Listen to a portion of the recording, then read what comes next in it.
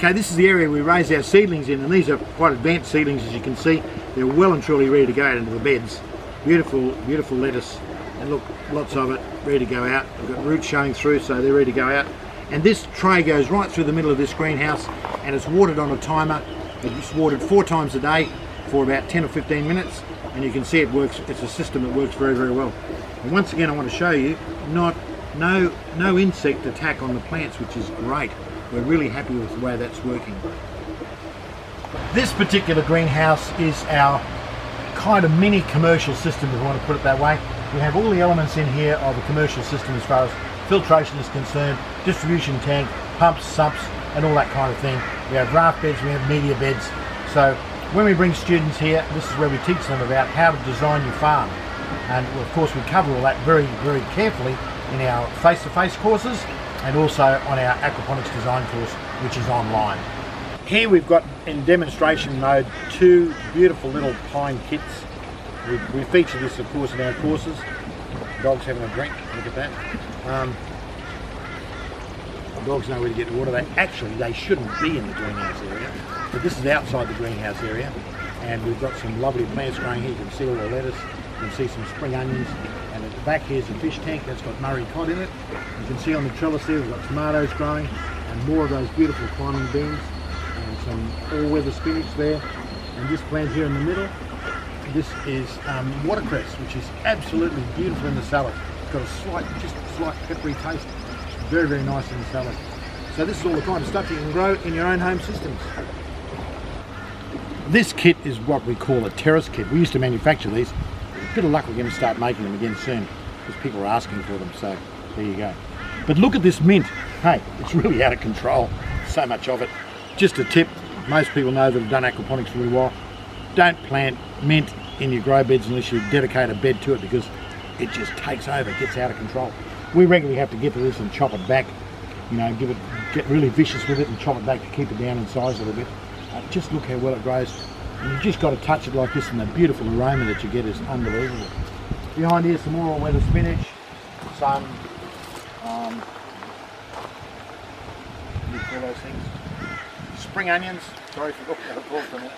So come over this way.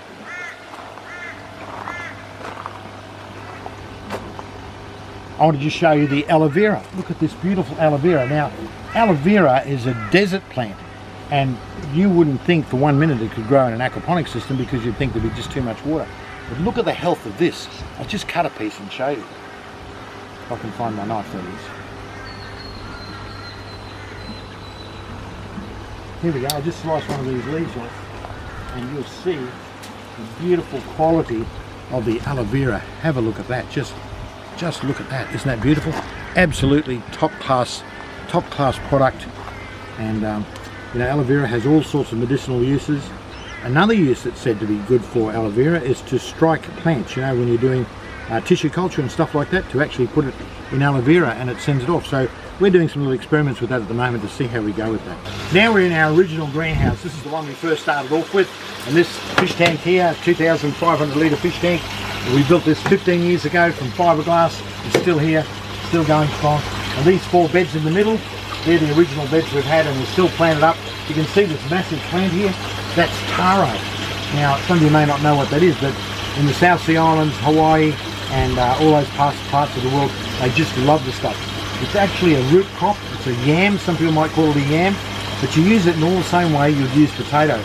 But it's a little bit tasteless on its own, so we found that if you cook it with a little bit of chili or a little bit of uh, curry or something like that, it can, it can become very, very nice to eat.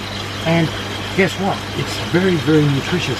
A really almost a complete food in its own right. So it's well worth growing taro. And as you can see, it does extremely well in aquaponics. And here we have some good old mini cabbages. They're as hard as a rock. We've been harvesting them out a couple every every few days to use, and we're down to the last of them now. See on the wall here, we've got more beans. I love beans. Beans are a wonder food, I reckon. And you can just grow them so, so easily. And behind me here, this is a plant called Kang Kong, which is once again a wonderful salad plant. Grows like nobody's business. As you can see, it just spills out over the bed and we just harvest the leaves off that. Goes great in stir fries. And look at the health of the plant again. Isn't that fantastic? Now come further along.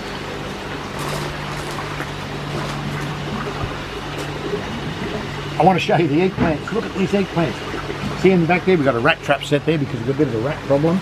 But these eggplants, look at the flowers on them. And we can see up close here, you'll see that some of them are really starting to bear wonderful fruit. We've, we've already we've already harvested off them actually, but look at those coming along. All these flowers are just going to turn into eggplant. Got more down here. Look down here amongst the leaves, there's more of it. Beautiful stuff coming along. And um, that's going to be just great. We love that. Makes great lasagna, you know, believe it or not. Eggplant is terrific for that. So let's just have a quick look around the rest of the system. We've got some of the beds here. We haven't planted much in them right now because once again our chronic water shortage. We hope that'll end soon, I hope. And uh, we'll be able to plant these beds up again as much as we normally do. So, there you go. Just look at the papaya tree in the distance. Look at that loaded up with papaya. seed up there? And um, it's going to be really good. We're keeping that tree going with all the water it needs. So, so there we go. That's our greenhouse tour for the morning. And so you can see what we're doing here at um, Practical Aquaponics and um, all the stuff we do here, growing stuff all the time.